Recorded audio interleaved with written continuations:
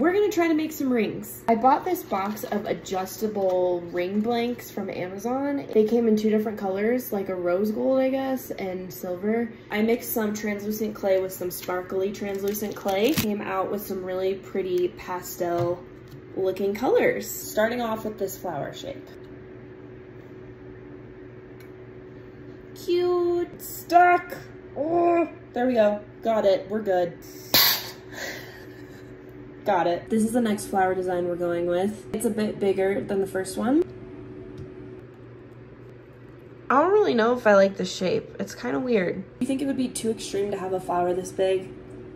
Like, would you wear a flower that big on your hand? We're just gonna try it. I need to re-roll these guys out first.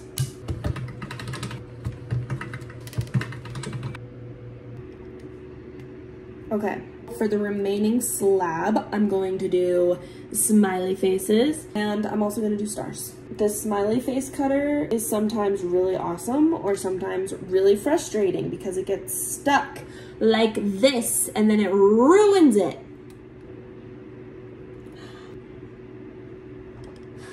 Accidentally smushed all the colors together. No! Well, I guess there's been a little change of plans here. These flowers are gonna be uh, multicolored. I'm gonna use some sparkly white translucent clay and fill in the center. Just a tiny little pinch. Stuff that into the center. Here we go.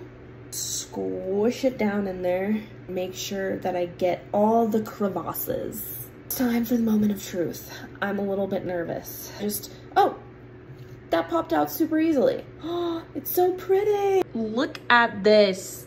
Well, I think it's safe to say that smushing all of these colors together was a happy mistake because I think these are so cute. Cotton candy flowers. Now we just need to bake these babies and then add them to the rings. Look at those little babies curing in the light bought a bunch of these blank ring backings off of Amazon and I thought it would be cool to make some rings out of clay. Today we're finishing them up. I made a bunch of different clay shapes. Most of them were flowers. Once they were all baked, I super glued them to these. Then I added a layer of resin to the backings just to secure them a little bit more. All of these rings were made with translucent clay that also has glitter in it. Originally, I wasn't going to add resin, but I did a tester and I found that the resin actually makes them sparkle even more so I had to do it. I cured these guys in the UV light for a few minutes, but now I wanna set them outside for about 10 minutes just to cure a little bit more. I'm also working on a couple pair of earrings and a really cute stash jar that needs to cure just a little bit more. The animals are freaking out because I'm about to open this door and they know what that means.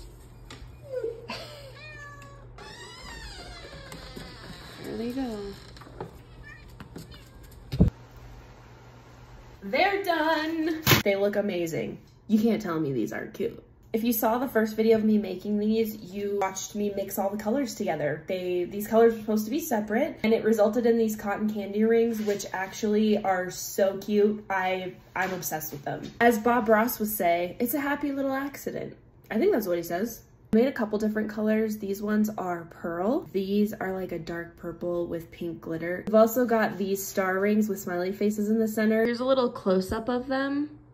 Oh my gosh, do you see that sparkle? Amazing. Best thing about these rings is that they're adjustable. They could fit pretty much anybody's finger.